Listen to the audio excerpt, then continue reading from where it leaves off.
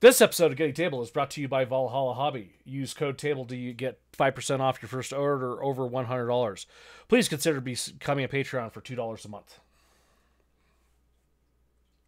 Brought to you by some guys on the internet. This is Getting Tabled. With your hosts Jason the Bruce, You guy! George the Yank, I hope you're all entertained by my inaptitude.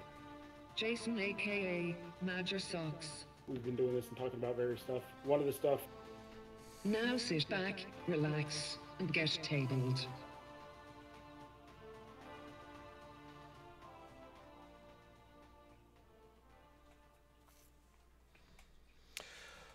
Hello, future people, and welcome to episode 143 of Getting Tabled with your host. He's not the Bruce, he's better. It's Major Socks. That's right, folks. I am better than uh, Bruce, who decided to leave us because he's off having fun in PAX Australia. So, For his Whatever. birthday. It's like that's yeah, special to for his birthday. something. Yeah, whatever. Oh, yeah. uh, Anyways, Bruce, I, I, I, I hope things start to sag more, um, and and things uh, droop and touch touch the water when you sit on the toilet. Uh, uh, if you need more info than that, then and uh, we have George, but George isn't as important because we have our, one of our patrons, JP, listening in with us. And if you are a patron, you can do that. So, that's welcome, right. JP. Hi, JP. And we've got George. I guess we'll acknowledge George is here since he's technically running everything here. Dang Skippy. Yeah, no, part of uh, the Patreon bonus is if you uh, do support us, you can listen to us do this live. Um, usually, most of the stuff we say does make it into the podcast and the recording, but sometimes you get to hear um, us be, uh, I guess, less smart than normal. Yeah, that's a good way to put it. Um, so yeah, uh, so let's do some some stuff. Newly received or noteworthy information, especially about recent or important events. Alrighty, first up on the docket, I stumbled upon this by pure accident. Uh, this was in my Sylvaneth group uh, on Facebook, and someone had posted this bonsai tree kit. Yeah, this is kind of cool. So it's a one to one scale bonsai plastic kit. So if And you I- don't want to have to grow it, you can make one. Well, and, and just aesthetic and appearance wise, it is a great looking tree. Um, I'm, Yes. I'm scrolling through the sprues right now, um, and you know you could you could you know spray paint it, you know throw some wash on, give it more texture and depth for sure. Do some flocking, um, then put it together. But it looks absolutely stunning. Um, the one thing I've got up on the screen right now, socks. If you want to scroll through the photos, is I have the plastic you know pot so to speak, and then the base it sits on. The base is Yep. sitting flat, which means you have to do zero work to get it ready for Yeah. the tabletop. Yeah, it, Which- it's absolutely incredible what they've done here. Yeah, and it, it looks super good. Uh, I've got a close up of the the leaves, uh, the tree trunk. You know, you throw some paint on this, and it would look so good. Um, now we're going to compare this to the Awakened Woods, right? Which that's what the Sylvaneth uses, the Awakened Woods. And yeah, these are good generic trees. They've got some rock stuff. You can put it to to make a circle. But if I had a Sylvaneth army and I'm bringing my trees for my army's advantage, I want to bring these. These look Yeah, it's it's such a different look and it looks so much better in my opinion yeah, I agree. Uh, looks really, really good. Uh, how many sprues is there roughly? uh About six or five or six? i would say about six sprues uh, i'm wondering if i can copy this and put it in the chat for jp to see because that is one thing we still have not done yet is as uh screen sharing while live uh, broadcasting if you want to check that out jp so you can see the tree we're talking about because Actually, my guess is I'm going to have uh, uh, for the leaves itself. You're probably going to have close to five or six sprues of just the leaves. oh absolutely yeah um but just the, based off what go ahead the leaves are, just based off the the sprue, the the model of the sprue itself for the leaves, yeah well and the amount of leaves that's on the tree itself. Yeah, but that'll give you the choice of you know, you know, do you want it dense? Do you want it as like foliage as possible? Like you know, it's got lots of uh, versatility. Um, and the fact that everything is off on a sprue, like you could do a lot of painting before you assemble it, and I mean it would just be really good looking terrain. Yeah. Um, JP does uh, give us a good point. It could either be really well priced or stupid expensive. Um, my hopes is that it since it's a bonsai tree and not a Gundam. Uh, I believe that's uh, who makes the as Bandai, right? Um, I'm pretty sure. yeah, uh, I'm guessing it might be reasonably priced because it's not a Gundam. Now, if it was a Gundam bonsai tree, uh, that would be epic. Yes. Next on the list is a Kickstarter I found. Um, and this is my childhood. And I was gonna say it's it's the '80s classic childhood dream. oh god, yes, it is a Teenage Mutant Ninja Turtles board game.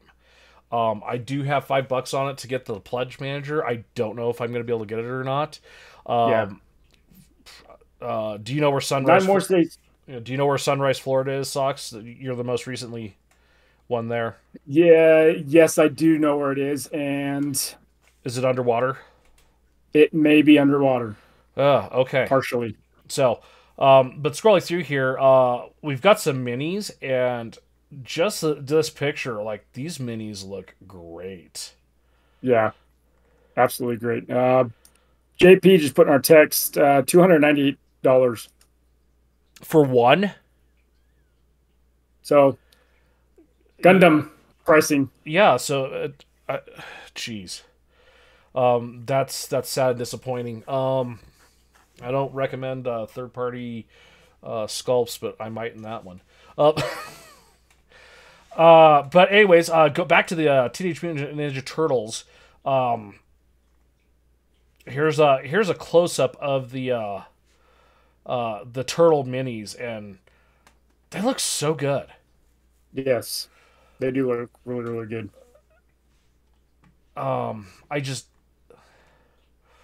we got Shredder and Krang. I don't know if it's going to be two part plastic to get the purple cloak and the the pink brain, but Yeah. again, that looks so good. And and the thing is, with it being like you know 1980s cartoon, like it would be so easy to just do like a 1980s you know cartoon comic book paint job with you know scheme. zero shading, and it's still going to be awesome because it's it, it's just what it is.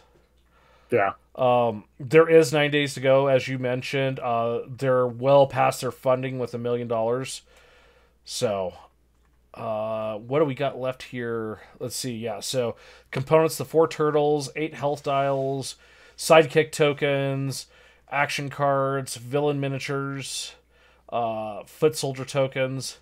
I'm guessing a lot of the unlocks will probably be additional miniatures, like, uh, hopefully. Oh yeah, here's the Krang Bubble Walker. Uh, there's an April O'Neil. Ooh, different poses for the turtles too. Nice. Of course, got to get Bebop and Rocksteady. Oh yeah. Yeah, I, I, I could feel my my 12 year old self getting so happy. Um, the uh, the core pledge is eighty dollars, um, and that's the basic. The ultimate is two twenty five, and that comes with all the extras. So it looks like there are actual Foot Ninja minis. Um, that's gonna be a pain to paint all that. Yeah. Um, So Sunrise, going back to your comment about where Sunrise is, Sunrise is down by Fort Lauderdale, Miami area. So Okay. it, it was on the eastern side of the state okay, and further south of where Milton hit. So they may get, have some wind damage and stuff like that, but uh, not to the extent that nothing too crazy.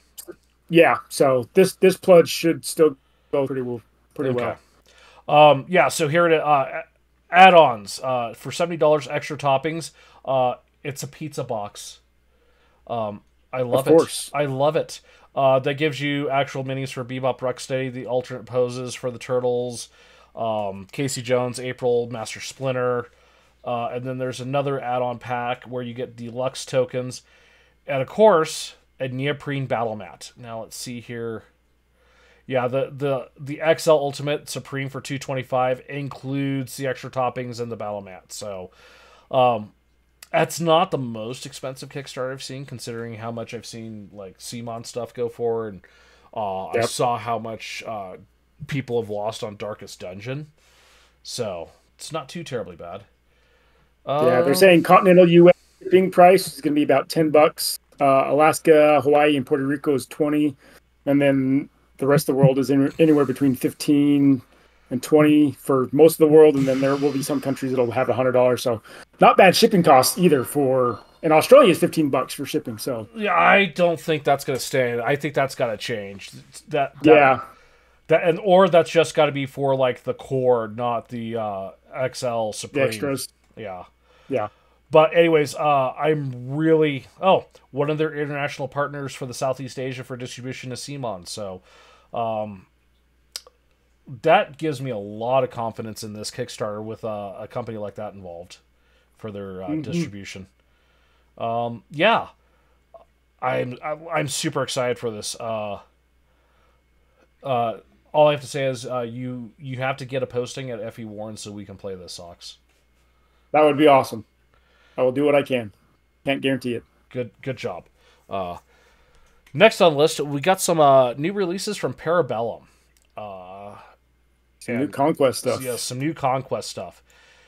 And uh, I didn't read who this is. This is the Mounted Predator. And this mini for the looks- W'adrhŭn. Yeah, looks absolutely amazing. Yeah, so you got a rider on top of what looks like an Allosaurus or some kind of a Yeah, like a small Uh, Allosaurus, or or maybe the yeah. rider's just huge. You know, that could be the case too. Uh, but yes, it looks amazing. Yeah, th- this has a, a feel of what some of the uh, lizard men should be for a uh, uh, Sigmar fantasy. Yeah, and the paint job is, is done really well too, with the, the feathers and on the tail and back of the legs and Yeah, ju- yeah. The, adding that to the sculpt now that we're knowing that you know dinosaurs, you know, did have feathers, you know, more likely than not. Uh, adding that into a sculpt concept like this is is a great artistic choice. Um, it's on pre-order for the low low price of ninety nine ninety nine. Uh, it is thirty eight mil. The box size is thirty by thirty by six centimeters. So uh, it's a big one. Um, where's the Yeah. height? Do we have a height for it? uh, I'm not seeing. Uh, nope, I'm not seeing one. I don't see one. Um, it is on pre-orders. Unless the scale is 38 mil, and that's their, their height that they're talking about. Uh, not for hundred bucks. That's Oh, you're right, you're right. So. Uh, it, it is a 38 uh, mil scale game. Uh, next That's on the right. list, uh, we uh, this one's 129. Um, oh, here we go. This one actually has the height of 19 centimeters. Uh, and this looks very uh, blue people avatar. Yeah, so we got like a pterodactyl type flying creature with another rider, and the rider is throwing a spear that he has a rope attached to it that he can. Based off of the, the concept of, of his attack, is he spears you and then he just drags you along the ground as he's flying away. And you know what the best part is, Socks? He could sneak up on you while going to the bathroom because the pee is silent. There you go. Um, again, great paint job. The the wings look absolutely stunning. Um, yes, that's what. and it looks like looks like there may be two different types of heads that you can use. Possibly, yeah. One's like a skull. The other one is like a, almost like a face mask type of thing. You can see it here in this Yeah, kind of little thumbnail in the, top left of the the photo that I'm on. Um, $130. This one again is also for pre-order. Uh, so they do give us a size 19 centimeters. So that's a good eight inches tall. yeah. But that's probably also on the, the flying base that it will be part of because That's- this being a flying creature. That's fair. Um, then we have some uh, troops uh, chosen of death for the W'adrhŭn. Uh, again, these look great.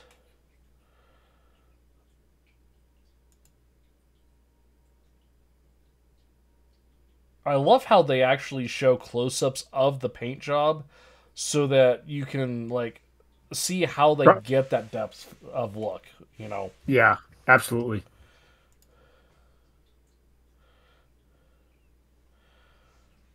Uh, So yeah, you got a set of twelve miniatures, uh, three plastic infantry stands. So this is some infantry for forty four ninety nine.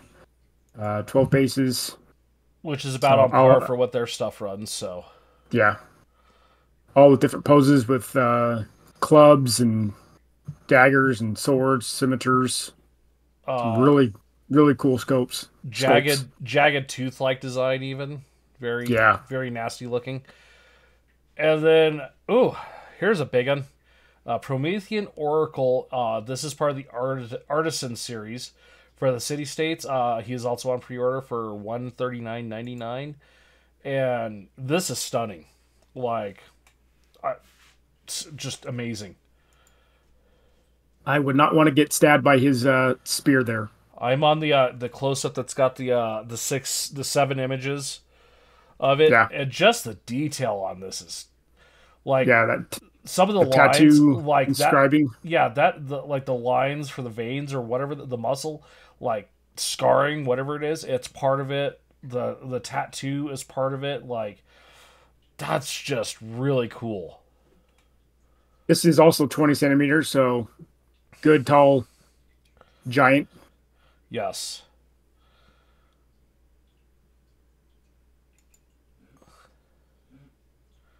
I'm just I'm sitting here looking at this in awe with you know the paint job on it. It's just it, the paint job does so much for this mini. Yeah, especially with the crystals coming out of his skin on that right arm, right forearm area with all the scarring.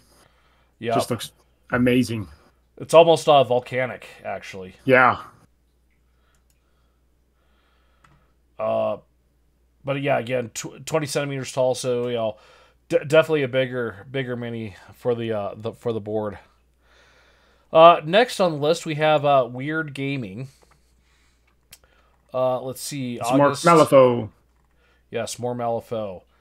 Uh, we're scrolling down to the October releases, and we've got Bad Omen. Uh, he looks like a good boy.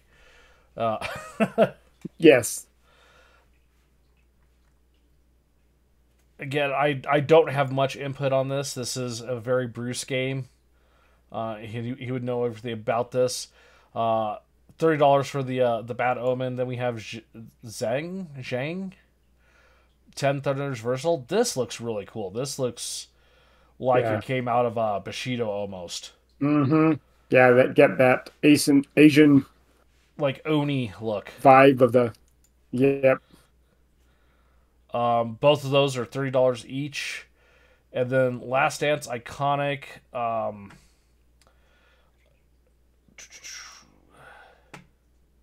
oh, that's kind of cool. That would be a great mini for a uh, um, uh, diorama piece. Mm-hmm. Yeah, so you get a smaller scale of 44 millimeter uh, version of the model, and then you get a 119, 118 and a half version. So that really cool diorama set that you could do. With, and it's a couple dancing with, in a sense. Uh, Guy in a top hat. we're gonna move on to November releases, and it looks like they're uh, Vagrant Song uh, is getting reprinted uh, with uh, an expansions, and probably the cutest thing, uh, Bridge of Leaves Ghost plushie. He's so cute. He's six inches tall. He could live on your desk, and whenever you're sad, Yes. you could just hug him.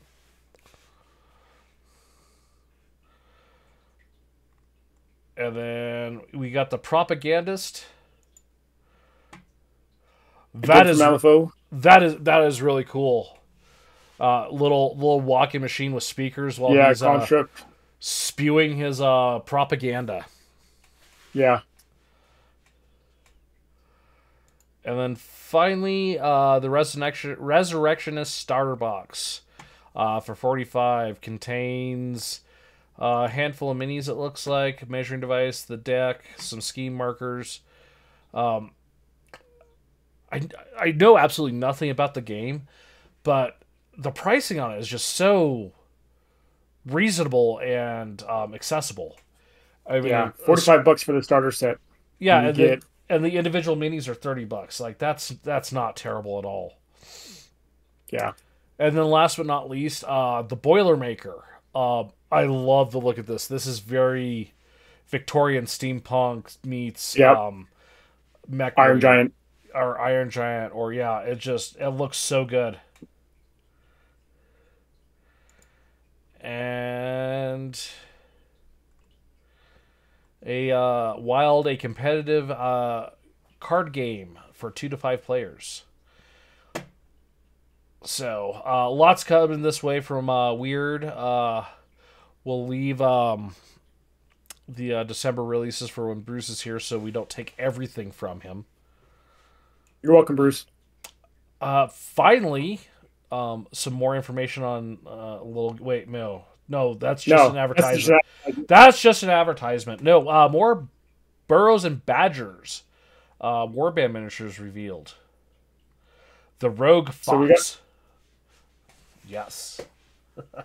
So yeah, we got a little fox that's uh, got a little rifle and kind of cloaked up, like you would see in, uh, as a rogue character in D and D or something like that. Very nice looking sculpt. Yeah, and, and that is the the original sculpt. The so obviously, if you're looking at that, it looks like they're actually using uh, chunks of brass for the barrel shape and everything. Yeah, and sculpting around. People that can do this, like sculpting like this, just absolutely amaze, amaze me. Yeah. Yes, Uh, the because the detail on that tail is pretty, pretty well, it, and just to take a lump of nothing and and manipulate it into, you know, a, a, something that looks like that, like Yeah, like I can take that and I can paint it and look really good. But if you were to hand me those materials and say make this, I'd just look at you and be like, it's gonna look like crap, but okay. yeah. Next, we got the hedgehog magic user. Yes. We got this small, small little hedgehog. I would Uh, argue not- he he looks like a Skaven character. Yeah. Yeah, I would agree. He's holding up some kind of a charm of some sort with his walking stick behind him. Next up, So- we've got a uh, a hound sergeant. Looks like he might be some sort of a setter hound. Yep. The shield and a mace. Another good boy. Yes, he's probably the best boy. Um, next up on Gamefound, Zombie Road TTRPG from Dragon Mount Press. Three to six players, four hour playtime. So, um, definitely a sit down and slog it out game. Uh, ages 16 and up. Pretty much your zombie apocalypse RPG. Yes, but I th- it's probably got a little more. Um, uh, I don't know what what is TT. Tabletop. Oh yeah, tabletop tabletop role playing game, right? Yeah. So, um, let's see. Oh, so here here's a little something. So it's a. I don't know how I feel about games like this, but uh, where I scroll down to, it says utilize tools like Google Maps or traditional paper, which I do like, or traditional paper maps to add an extra layer of authenticity. Um, I, I get the idea of that. I don't know if I like that just because it's something that you have to pull in. It does save the game and game developer money because you can go out and get outside Get resources. maps of your own. But Yeah. yeah.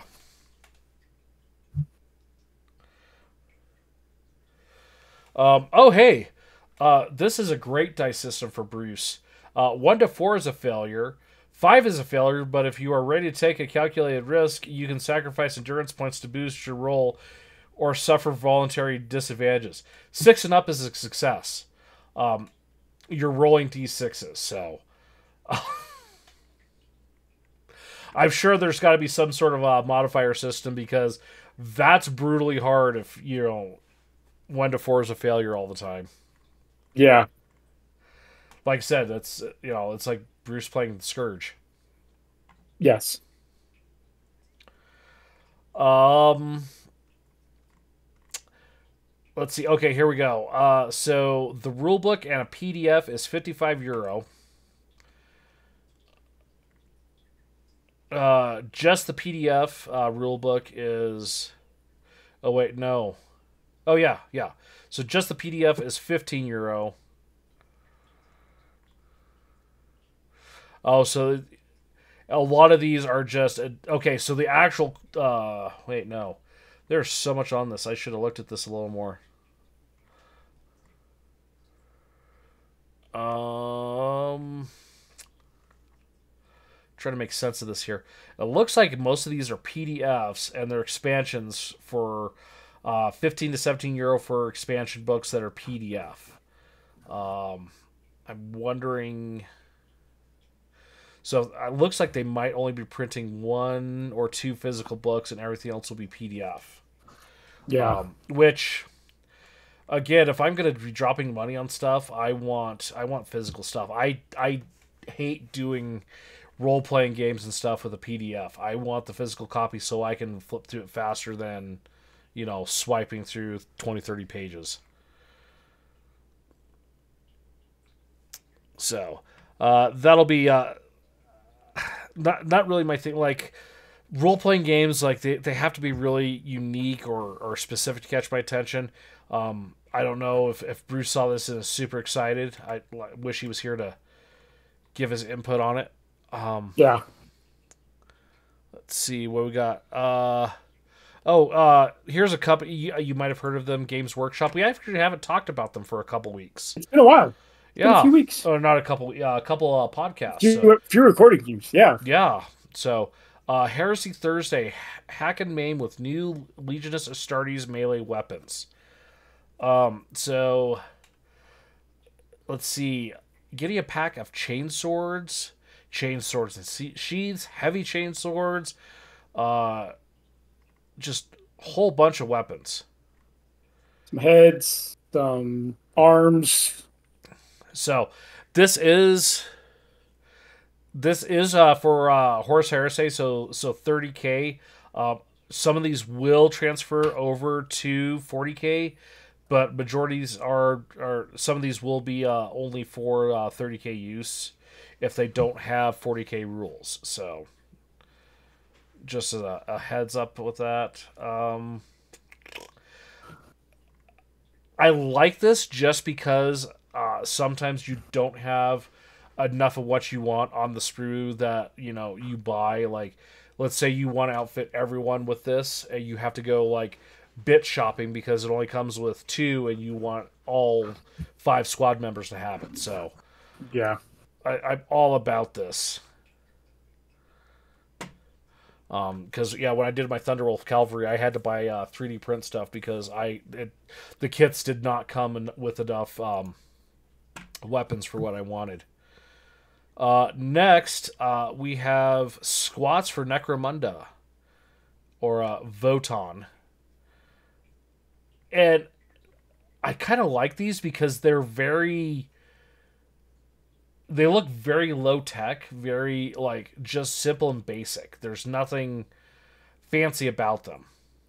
Yeah. They they give me a very um like Cuba Gooding Jr. from uh, Men of Honor, I think was the name of the movie, like dive suit, just very simple. Um, Yeah. Or um, uh, what are they? Uh, the Leviathan dreadnoughts, even just a very simple, plain look.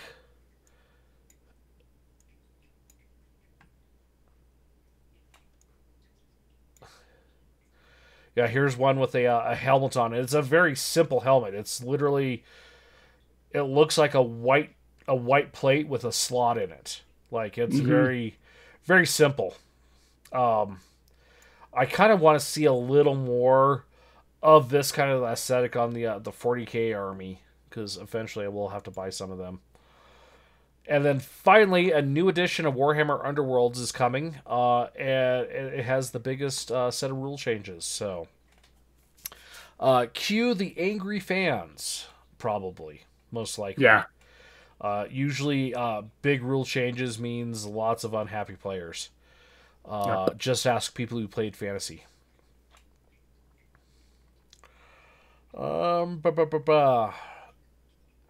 I, I will say I do kind of like the the way these card layouts are are looking. Like it's giving you, you know, a description of the fighters and then what all the abilities are uh, on Mhm. on a card. Um, I do like that. It's all very simple and contained. Um, Yeah.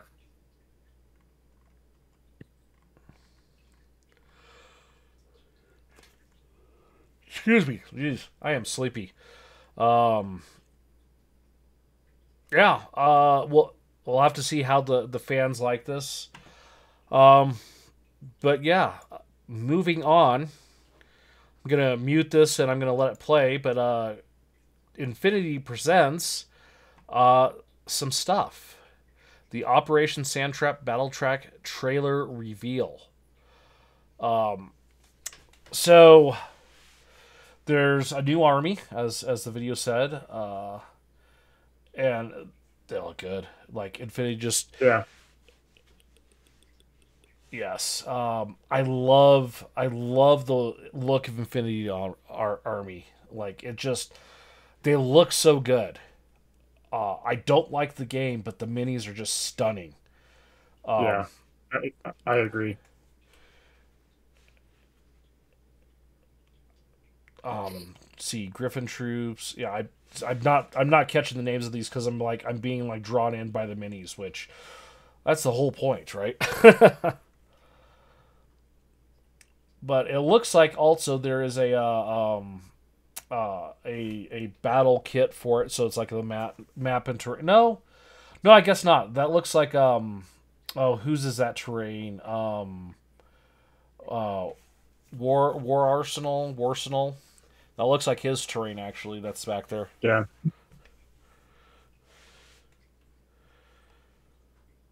So, um, again, this looks really good.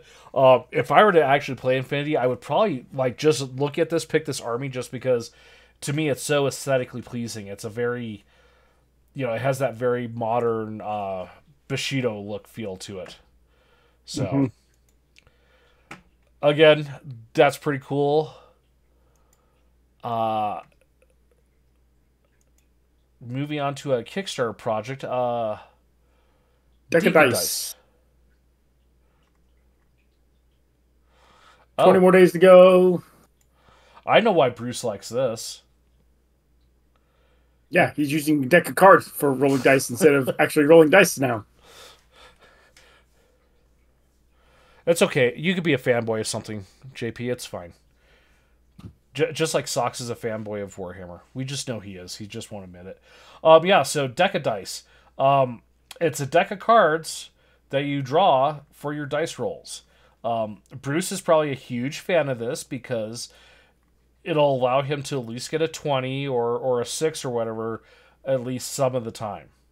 Yes. um, for for a tabletop game where sometimes you might uh, have to roll five or six dice and you know you have the chance of like you know two twos and four fives kind of thing like definitely not That's going to be hard to do. yeah, but um, for like an RPG, like a pen and paper, pen and paper game, like this is absolutely a stunning idea because you know if you need to draw like you know a D twenty roll, like you just flip the next card. Like I could see where this would be a great idea. Um, it looks like fourteen dollars, sixteen dollars to back it. Forty five dollars gets you three decks. Uh, seventy dollars gets you five decks, and ten for hundred and twenty. Twenty for two hundred. So, um, it, it's a neat idea. I'm surprised no one has actually uh, hasn't done this sooner. Um, but yeah, I think that's uh, e- especially for people like Bruce who whose dice rolls hate them and they can Yeah. never get any satisfaction from dice rolls. Um, finally on the list, uh, I found this, and I thought this was a really great idea given how many I have now, and and the varying sizes. Um, Epic playmat tubes. So these are 3D printable, interlocking uh, parts um, to make neoprene mat dice tubes. So they have a picture of bad ways to store your mats. Don't look over to my right because I'm not going to say mine are stored like that, but it's not far off. They're stored like that. not not exactly, but close. Close enough. Un- unfortunately, yeah. So what this will do is allows you to print off the parts, um, and I've got a little uh, kind of a, a GIF up here, um, where it interlocks threads together so you can increase the length if it's a it's a, a longer um, playmat, and it's just a 3D printed tube to carry your mat in, which Yeah. you can have varying lengths as this uh, uh, animation is showing here, which I think is great because not all playmats are created equally. Uh, and there's multiple um, uh, what's the word? Uh, Themes? design. Yeah, themes. There we go. Themes. So you can mix and, ma- mix and match themes to create a very unique uh, tube. And Yeah. there's some options to store some dice with it, which for my Masters of the Universe game, I do have extra dice and I have a neoprene mat. So something like that would be fantastic. Um, yeah. So you got a Chinese theme, you've got a catacombs, the Egyptian, you got a Viking theme, dragons, futuristic Egypt, pirates, and they all look great. I mean, Yeah. the, the de- the amount of detail on this is one of the amazing. the things I'm on right now is it looks like you have an option to 3D print a tube uh, holder rack, which is very reminiscent of a uh, sword display for Japan, Japanese swords. yeah, Um, shoulder strap rings, um, and then on Bambu Studio, that's what they're uh, um, using as the the printer. They're giving you estimates of time and filament used to print the parts. So, again, that's really cool. So, and here's the themes that Sox was talking about. Um, and as cool as these are, I would also like to just see a plain one. Just nothing about it, just a plain one. They kind of do. There is a leather one if you scroll down a little bit. Where? Oh yeah, right uh, there. right, right above it, right above the uh, the holder. The, Yeah, you no, I have s- that leather one. Yeah, I see it. Yep. So I that would say that would be your most generic, plain looking one. But I mean, it still looks great with the Ooh, there's a Cthulhu one. yeah for uh, 20k, which It's an unlock, which they have unlocked. Ooh, they steampunk, Actually- Aztec. uh, with it being thirty eight thousand dollars, uh, that should be unlocked. Maybe They've, uh, they've earned. They probably haven't updated the uh, the Yeah. website so. Now here's they- the yeah here's what uh oh I guess that's not too terribly bad. Uh so nine euro or ten dollars for one tube. I, I suppose that's okay. Uh, all in is about fifty four dollars, forty nine euro, and that gets you all the uh, tube designs. Um, and then two twenty nine euro or two hundred fifty one for a uh, commercial license. license. Yep. So, um, ooh, ooh, that early bird all in was really good. Thirty nine euro or forty three bucks. So, um, I don't, I don't know if I'll back this. Um, might reach out to them afterwards and see if I can buy the plans later. Um, I do have a few um, mats that I do need to store, but I, I don't know if I can justify buying the the plans to STLs. to to to do this. Yeah, I don't know. Yeah. Oh, Cool what- concept though. yeah, very Other cool. than just a, other than just the little plastic tubes that you can get the clear plastic tubes. well, you know, in the case of like I've got Ankh, right? You know, it's an Egyptian-based game. There's an Egyptian-based you know tube here. I have a neoprene playmat playmat for the game, so that's definitely something there. Uh, Masters of the Universe really doesn't have an equivalent here. Maybe the Dragon. Um, I don't know. Uh, Catacombs possibly, but you know, I have a Game of Thrones playmat. Um, what else do I have? I have oh, I have uh, Lords of Ragnarok. So there's the Viking one right there. I use for it. Yeah. Um, And they have they have done a survey too to see what backers' choices and suggested themes would Right, be, th- and number one number one was Cthulhu, which that's why. a generic one. And Yeah. then and then they have a whole list of other things like D and D classes, Yeah. uh, Wild West, Roman Greco, that kind of stuff. so And so who knows? They may have more uh, themes More to- come out in the future. more to come for sure yeah so um but yeah i i just think this is a really it's a very like tiny part of the the gaming industry, but you know, with the existence of neoprene mats, you know, you do need to have a way to store them, and I think Yep. this is a great way to be able to store them. Um, and for the case of those who have a 3D printer, do it yourself. Um, or if you feel ambitious and want to try to make a buck or two, you could buy the commercial license and crank them out. hmm Um, which that's gonna do that for us. That's all our news. That is all of our news. So we're gonna go. No to- aiming for the indie. We just go hobby time. yeah. Cream, blue, prime, paint. Socks. How much hobby have you gotten done? Yeah. Uh, Socks has got some stuff going on, so he's probably got more uh, important things to worry about than uh, painting pieces of plastic. Yeah, unfortunately, I've got some issues uh, with my house that I'm having to deal with. Uh, so I- I'm not going to go into too deta- too many details. I'll just say that.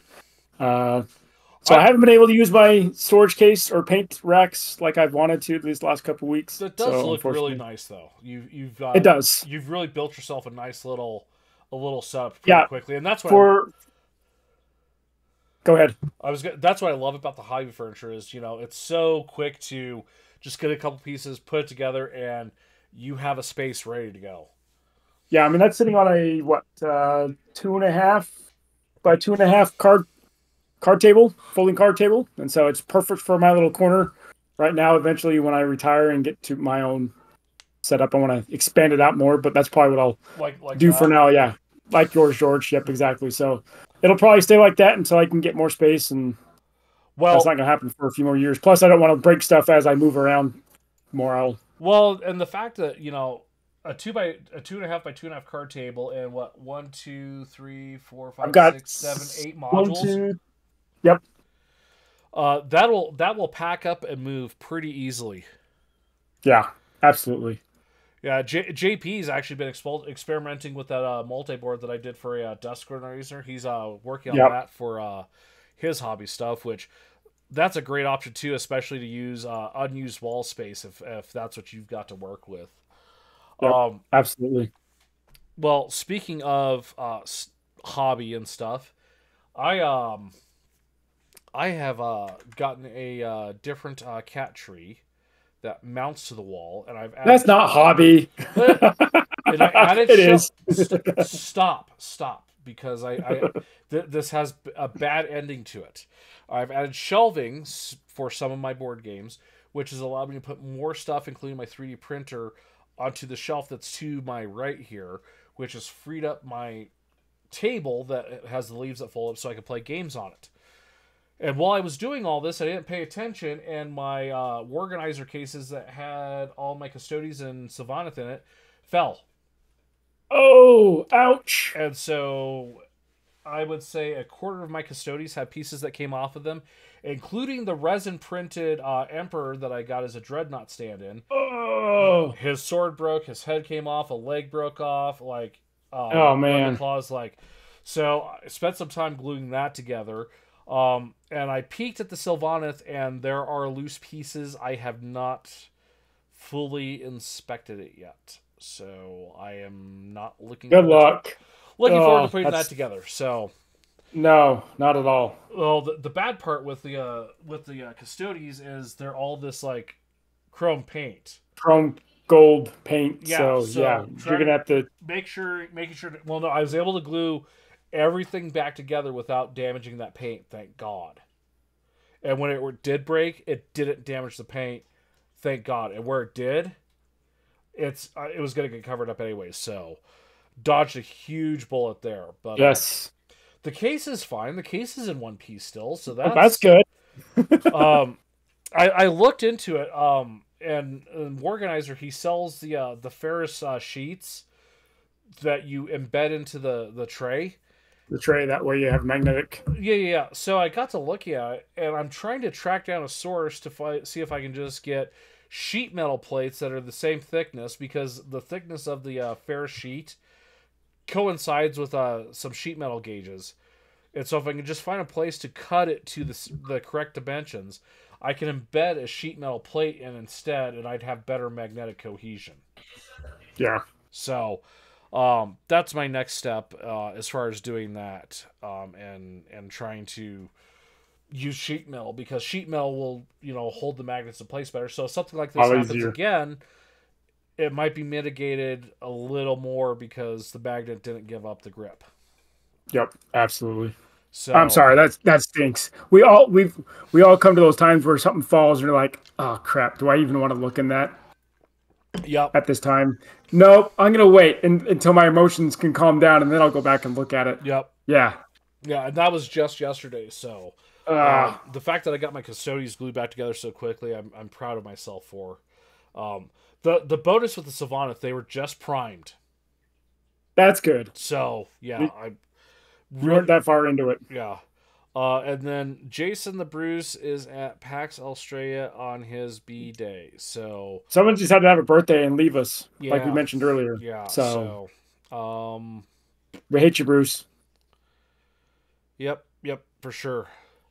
Uh, is that game talk? Did we talk about that last time, or No, we haven't done game talk, and that was that's a new topic for this week. that is okay? Yep. So let's go ahead and move on to that since my hobby is sad and you didn't have any. And Talk nerdy to me. especially since I've done this three times. I, I was gonna say you do this every couple years, actually. So I do. I do. So our topic is do you always keep everything or do you hobby purge stuff? And I've hobby purged three games. So I did my first one. and JP's a hoarder, by the way. He he said that he's a straight up hoarder. So good on you, JP. Uh, I hobby purge primarily because I move a lot. As you guys know, I'm in the military, so I move a lot, and so it's sometimes hard for me to find games that are playable in the areas that I move to. Um, Flames of War was my first miniatures game that I got into. Uh, I played through the rest of my time in college before I moved away to England, and no one played there in England, even though it's an English company. It's That- made by Battlefront. makes no sense. I would think like Flames of War would be played on every corner store. Yeah, but I, where I lived, uh, I would have had to driven three hours to get to a store because I was out in the countryside Jeez. areas. Where, where my base was, it was it was pretty far away. Well, some okay, of the, that's some of the larger towns. yeah, that makes sense. So, um, so I decided to purge that one. Um, made some money off of it. Uh, I I didn't sell it until I got to Illinois. So, yeah, that's a mess, JP. That's As he shows a picture of his hobby area. Nice walkway. I see one. That's about it. Um, yeah. I have to zoom So- this up to look at this. This is Yeah. So I, I held on to Flames of War for two more moves, but then I decided to sell it in when I was stationed in Illinois. Um, made some good money off of it.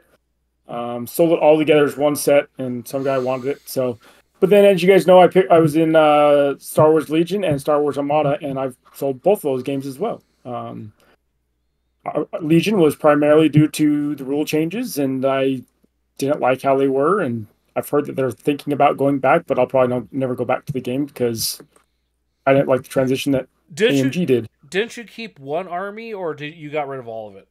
I got rid of everything. Okay. And then when the announcement came out that uh, Armada was no longer being supported, yeah, that one went too. Even though I really enjoyed that game. that kind of makes because I mean, unless you're like, so let's fast forward you ten years, right? You're retired, you're not moving anymore, and you've got your group of five buddies that you always play games with. Keeping an obsolete game like Armada makes more sense. With your essentially gypsy lifestyle Yeah, where you know you kind of have to play what's playable in the area. And with you not liking 40k and not liking sigmar you know you have to be very flexible on what you're playing exactly. because those are about the only two games that you're going to find everywhere when you Yeah. when you relocate um like I, the joke about you getting stationed over in FE Warren so we can play TMNT, right? The game store there, the two primary games are Sigmar and 40k. Yep. I Yeah. don't see them advertising or talking about anything else.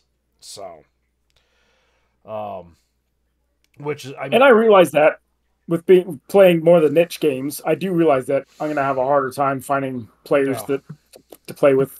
Uh, but I've built a dystopian wars community out in Florida. Uh, unfortunately, it's disbanded since I left.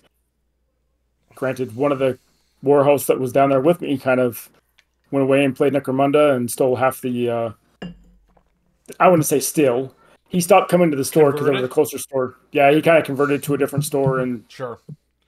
And and took some of the other players with him. I mean, he wants to play Dystopian Wars again, um, but it's it's kind of hard when half the community goes away and Yeah. uh, you're still there trying to support it. So, So and then when when I leave and I'm the the primary person that's playing it, it's unfortunately he's gonna.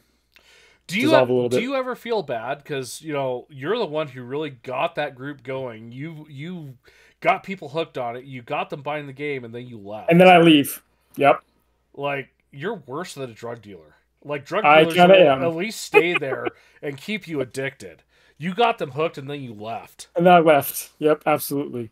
But with me being a war host still, I still like the game. I'm excited for Armor Clash. I'm excited for Imperium and Sultanate to come out for Armor Clash. Yeah, Um, I'm excited to see what uh, version two of Drop of Drop Fleet is going to be like. So I have all my fleet stuff. I have all my zone stuff because I'm looking forward to Strike Team uh, Drop Squad Commander. I was Yep. about to say Strike Team, but Drop Squad Commander because I would love to do a, a full on campaign where you got the fleet, then you get the ground combat, and then you're able to do the actual building combat in a That kind of a campaign sce- scenario setting.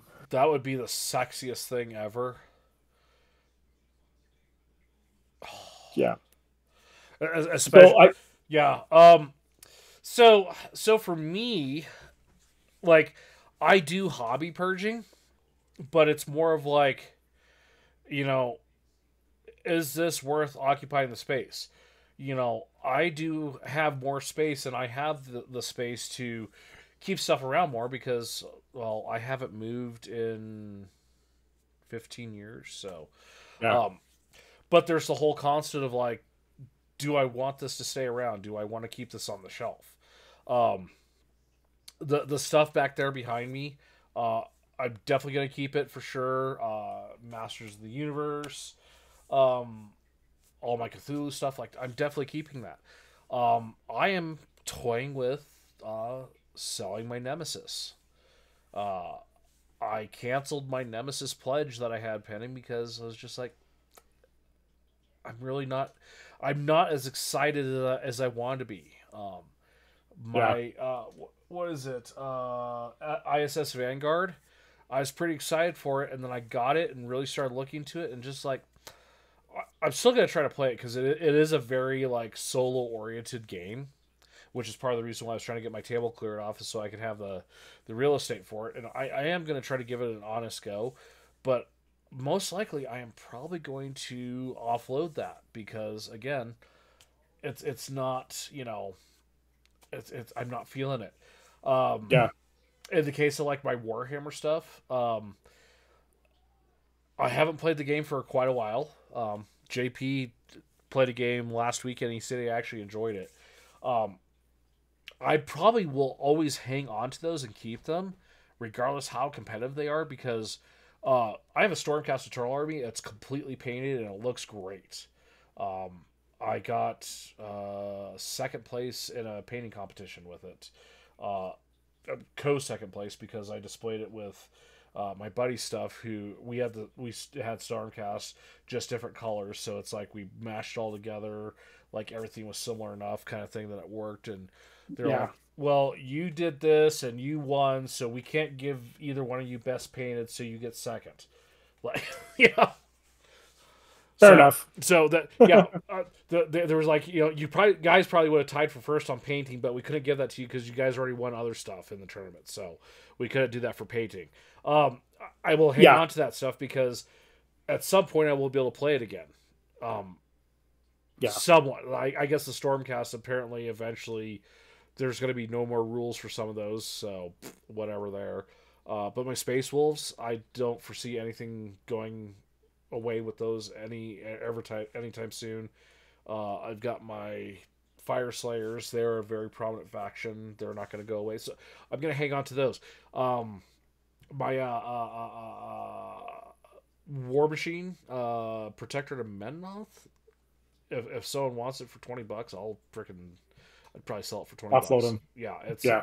it's not doing anything for me. It's just taking up space up there. Yeah, I can see it. It's it's up there. Um, you know, I'm feeling the same way about my my drop stuff. Like I have drop zone and I have drop fleet. I have no one to play with. Uh, I, I, Yeah. well, I have Sam, but he's got like you know a starter box and like two additional ships. I think. You know. Wait till I get to FE Warren, then we'll play. Right. Yeah. Well, I will show you how I play Shaltari, I know you will. and, and, and you will cry because Levi Well- from me, and I know. and, and Shame on you. Still. Uh, Well, and he only learned from what I described. He didn't learn from me actually doing it. So I know that. it, it might be a little worse for you, socks. It might, it might. But another another reason why I purge too is with me moving every two, three years, I actually have a weight limit that I have to abide by, or else I'm gonna get charged for my move. That's Since true. the military pays for my my move, I get a uh, weight allowance based on my rank, and so if I go over that, which I haven't yet, but that that so when I buy new games, that's kind of the one, one of the reasons why my wife says, okay, if you want a new game, you got to sell a new game or a, an old game. That way, one, I have space for it. Two, I'm not going over my weight allowance that I. So, uh, while I was over in Okinawa, weight weight allowances, right? Uh, Yep. He was uh, leaving. Uh, he got there as an E four. He was leaving as an E five, which is shocking because usually it's the other way around, right? Um, yeah, especially in Korea. Well, Okinawa, it's not Korea. It's Well, oh yeah, Korea, Japan. Still yeah, yeah. That's close enough. the army the army gets to go to Korea. Um, but he spent like all of his money and he got to himself something like a 48 inch or something like that CRT TV. Flat panels weren't available yet. Like Nope. I I had two 15 inch flat screen monitors for my computer and I paid about 250 each for those Yeah, for 15 inch ones. He had like a 47 inch CRT, which for for those youngins, CRTs are like the old TVs that your grandparents have. He couldn't take it with him because it went over his weight limits. So uh, that's a thing. Like, so yeah, definitely got to purge and, and, and whatnot. Uh, the other thing I always find myself purging, right? So, socks. wh- What's the most recent game you uh, you put together?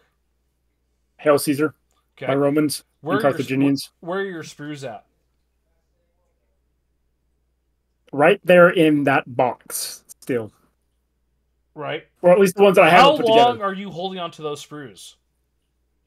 Uh, oh, you're talking about the empty sprues? Yes. Uh, I have no the, the empty ones that I've done. I've thrown away. Oh, you already have. So I, I'm guilty of this, and I have to do this every couple months. Uh, I'm sure, you know, this is probably ninety percent of the community, right? You empty the sprue, you put it back in the box, you hang on to the box for six months Or longer. because you know you've built all you can off it, but there's still you know bits on it. You know, you can Bits still of pieces that you may or go back to. Yeah. yeah. So what I've done actually is hang on, I'll be right back.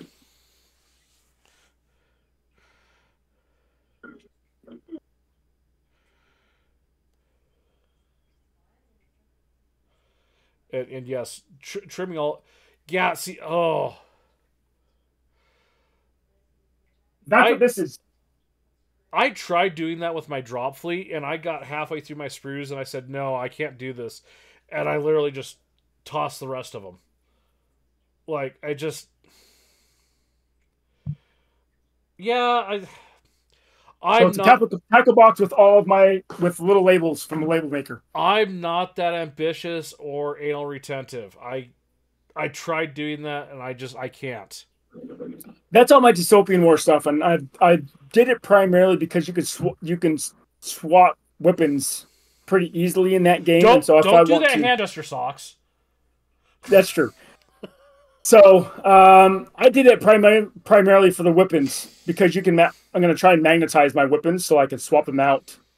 Uh, or Uh, That's fair, but I have to do that while I'm building the kit. I can't go back to it two months Yeah. later, six months later.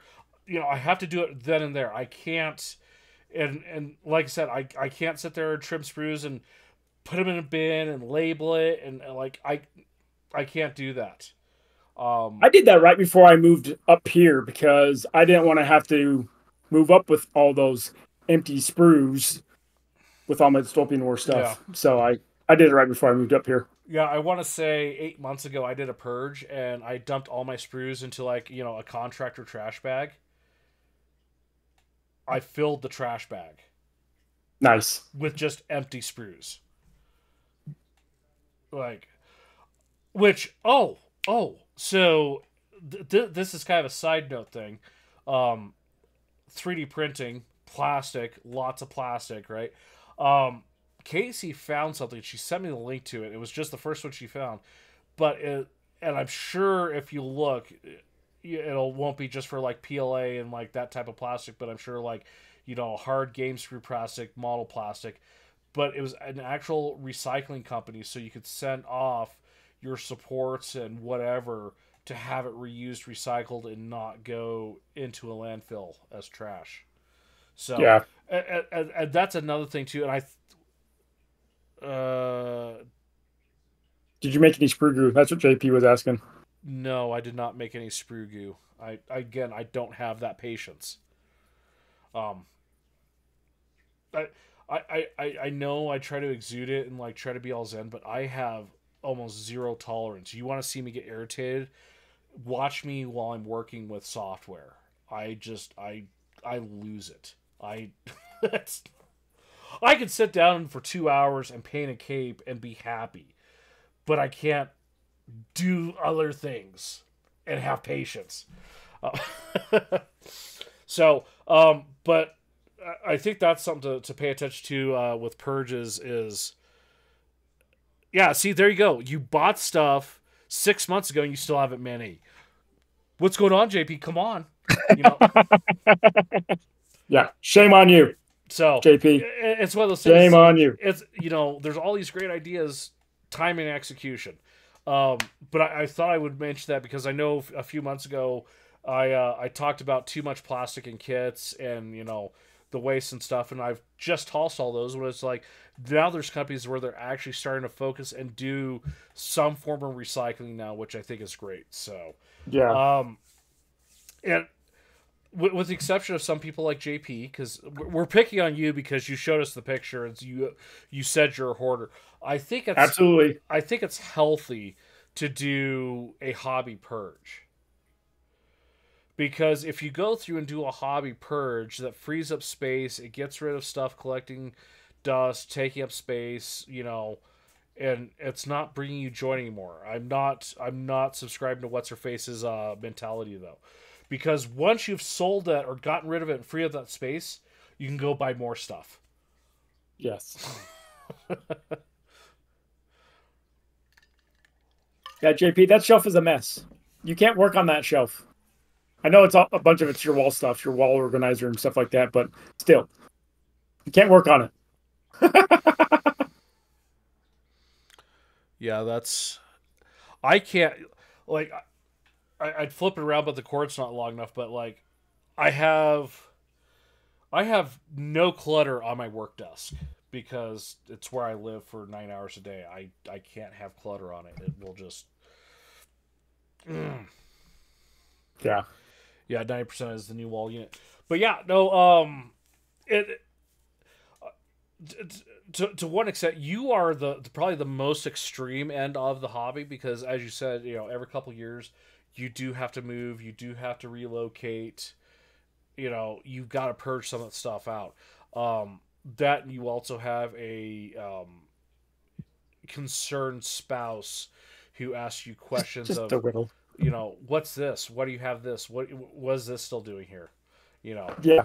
so um, What's this? What's this hundred dollars out of the chicken account? Oh, don't worry, babe. That's a new board game, or that's just more bits for my army that I want, or uh, another Kickstarter that I backed, like Drop Squad. Soon, hopefully soon, we'll get Drop Squad. I know they're waiting on uh, 2.0 to come out, but uh, for Drop Squad's Kickstarter to start. but, Yeah, is it is that supposed to be November? uh, it- November December timeframe. Yeah. I, I know release for the game is later this month, so I would assume the Kickstarter is gonna Yeah. be here in the next couple months. Um, So and then in my case, you know, it's just like you know, yes, I'm purging because I'm trying to. I'm trying to maintain and not accumulate. You know, like part of my rearranging is so I can store my stuff better, so that it's more accessible. Um, I've got a shelf of board games I can't get to because the table's in the way, and because I had the 3D printer Yeah. on the table, I couldn't move the table, and so I just couldn't get to that stuff. You know, it's yeah. Um, but then I I knew one guy. Uh, he was Rogue Trader era, like 40k oh wow, and and when when I still knew him, like you know, he built a lot of his own stuff because he couldn't afford you know Games Workshop prices, which I get. But the Yeah. stuff he did buy, he still had because it was such an investment for him, and it was such a Yeah. uh, a financial burden, for lack of better words, for him to buy that which you know it, it did affect uh, some of his basic you know necessities for for getting by on you know he mm. refused to get rid of anything because it was such a investment. Emotional investment. Yeah, yeah. So you know and and i can understand that too which you know that's why you know you do ha- have some people who are actual legitimate hoarders because it's such an investment and important part and piece to them. And i get Yeah. that. And you know you know i i can't i can't blame people for being like that No. because that's that's just how things are. You know you know not everyone's like me where it's just like well i don't need this anymore it's it's going to go to the bin or whoever gives me 20 bucks first i don't care which Yeah. you know um i'd rather not go to the bin because it is worth something to someone but i also don't want to take the time effort and energy because i'm impatient and i'm not going to spend that time to to do that yeah. And and if you are considering this, um, my game store uh, down in Florida, if there was a fifth Saturday of the month, they would set up a trade day where you could take old board games or whatever you wanted to, and you could put them on the tables, and you could put down a price, and if you sold it there at the store, you would get unfortunately store credit, so you have to spend money that you earned back to the store. But it's a way. f- Most some you check your stores; they may do something like this, or that way you can sell it to someone inside your community that may want it. if you have a store i, I apparently you, that is true, if you have a store, the, the rumor I heard was the, the the one that was here shut down, and within like two months, another one was going to be opening up in the same location, different ownership. Um, yeah, the the the two guys running it, like they came to a large disagreement, and they decided to stop instead of you know. So I haven't been there yet. Um, I, I should probably go check it out. Um, if it's there, I, I haven't heard or anything about it. The some people I know that I'm still friends with that you know did go and spend time at the store. You know they haven't Yeah. posted or said anything about it, so I don't know. Um, but yeah, uh, purging is good. Purging is healthy. Purging allows you to buy new shiny things, which Yes. that's Thanks, JP. that's the big part of the ho- problem with the hobby is new shiny. Yeah. Good job trying to work on it. At least your organization. Right? Organization organization is so huge. Just look at your paint storage now, socks. Yes, So it's not. It's it's no longer in my Tupperware. It's right? now in nice shelves. it's easier to access. Absolutely. tournaments, demos, conventions, you know, that kind of stuff. Alrighty, upcoming events. We have the Melbourne Figure Painting Collection. Is it supposed to, I thought it was supposed to be collective. Um, anyways, uh, Oh, that is the 27th of October from 12 to 5 p.m. at the Gaming Arena. Uh, Firestorm Co- Firestorm Games Dropfleet Commander version 2 tournament that is still delayed. Uh, that will be taking place at 66 uh, Sloper Road in Cardiff. It is a thousand point narrative event. Tickets are 25 pounds online, 26 pounds in store. Um, that's a lot of organizers, JP. Uh, Yeah. Then we have uh, the Spellin Spectacle. That is the That is this weekend, right? No, that's no, that's November 9th, No, that's November 9th and 9th 10th. to 10th November. November 9th and 10th um, in the Netherlands. I'm will po- will post the notes. Uh, I can't pronounce that. Uh, it's 19.95 euro for a day ticket uh, on pre pre-sale. Then we have the Conquest Dutch World Tour. That is the same weekend at 2,000 point tournament, $35 entry. Uh, Acrimanda Syndicate Wars 4, the 16th through 17th of November, 10 a.m. to 6 p.m. The Narrative Necromunda Campaign Tournament, $60 ticket, two day event. Uh, Bruce didn't put down where that is. CanCon, the 25th to the 27th of January, Epic Exhibition Park in Canberra. Another Drop Fleet Drop Fleet Commander version 2 tournament at CanCon. Details still to be confirmed. And then Drop Squad Commander painting competition still coming. No date set yet. So, Yep. uh, lots of things going on. Um, yeah. That's about gonna do it. Uh, we'd like to thank Valhalla Hobby and our Patreons for for supporting us. Valhalla Hobby is great store, great prices, great shipping. If you are in the continental United States, probably into Canada too, uh, with that good old NAFTA stuff. Um, if you're outside the continental United States, um, shipping is going to be more expensive, but they still have great prices on everything in the Yeah. store. Uh, I want to say your two two player starter set was uh, substantially cheaper through them than virtually anywhere else, uh, and the shipping was super cheap. Um, then, uh, like I said, I got my uh, complete uh, Army Painter Contrast set. Uh, I want to say that was forty or fifty cheaper than virtually anywhere else, and I think it was like twelve dollars shipping. So, uh, Yeah, definitely not- check not out. Valhalla Hobby. They've got all the normal stuff. They've got Bushido. Um, Dystopian Wars, Armor Clash. yeah, uh, yeah. I mean, uh, Conquest, right? That was on the list Yep. too. Yeah. Conquest. So I mean, they got they got lots of stuff. Um, uh, again, if you uh, use the code tabled at checkout, uh, you get five percent off uh, your first order over one hundred dollars.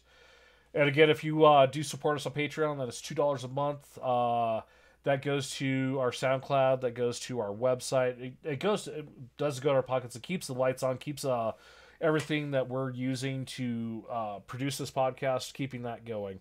Uh, it it's two dollars a month. It does help us out a lot. So uh, anyone who does support us, we do really appreciate it. Yes. Um, again, if you do become a supporter, you can be like JP and listen to us uh, make fun of you on the podcast. If you're the only one that shows up, JP, I love you. Uh,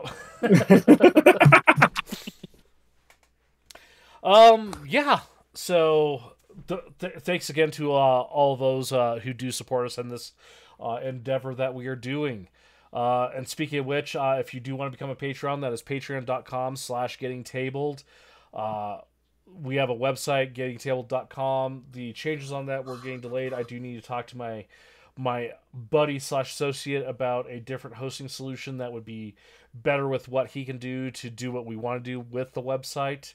Uh, majority of the posts, it's going to be uh, facebook.com slash getting tabled. Um, let's see youtube.com slash getting tabled that's where the video version and our unboxing reviews um you know that's where a lot of our content goes uh please give us a like and subscribe it does help out the channel uh i want to Yep. say we are at 800 and something subscribers so i would love to I'd love to get to the thousand mark because then the next goal after that is to get a play button, and I would love to have a play button. Yes. That would be awesome. Which uh uh where are we at? We are at 812 subscribers, so uh we're getting there. Uh if you got anything for us, questions, comments, uh things you want us to talk about, things you want us to let us know about, uh you can send it to us at uh gettingtabled at gmail.com. Uh X, Instagram, threads at getting tabled. Jason the Bruce, he does have a Twitch, which is twitch.tv slash Jason the Bruce. Give him a subscribe there.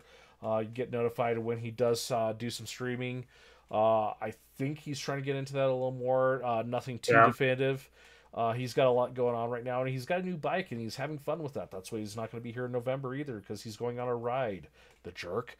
Um, Yes. and then his other uh, project he has, uh, youtube.com slash toy reel, where they talk about toys. So uh, you should go check that out. Give them a, a, a follow as well. Socks. Anything else for the people? Uh, also, we have our Discord. I don't know if you mentioned that. Oh, I did not- ask. I did not mention the Discord. We do have a Discord. Um, yep. where we have lots of different channels. You can post questions in there as well if you don't want to email us, because we are kind of active on Discord as well. So, uh, yeah, we chat there. We we talk about things. We do. We, we share our projects and, and our uh, trials and tribulations and the neat and memes and yes. and, and memes. so- Yes, yes, always always memes. So, but otherwise, no, I think we've covered it all for the for this week. Already, socks. Thanks for showing up. You as well. I'm uh, I'm glad you're living somewhere where you won't uh you know where the wind literally isn't hurting your face. Me too. I I know I joke about that's why I live where I live because you know you know the wind hurts my face, but I don't have to deal with all other stuff. But uh, I'm glad you're not dealing with it right now. So, um, oh, uh, that was something else I was going to mention. Uh, this is this is quite important. Uh, Warsenal, um, they make Infinity Terrain. They were in the path of Milton, and they've come out pretty unscathed. And they had a little logo that they made to show that they were safe. They are Yes. going to do that logo on tokens. The proceeds of those tokens will go to relief for Milton. So if you play Infinity or you just need some tokens, you should go check out Warsenal because they will have some tokens that will be benefiting people those uh, affected by that disaster. Yeah. So yes, I think it's time to play this. Push. Thank you. Thank you. Thank you. Thank you. Thank you. Thank you. For listening to Getting Tabled. Music used in this podcast was created by Eric Matyas at soundimage.org. Bruce is king of the unwashed masses.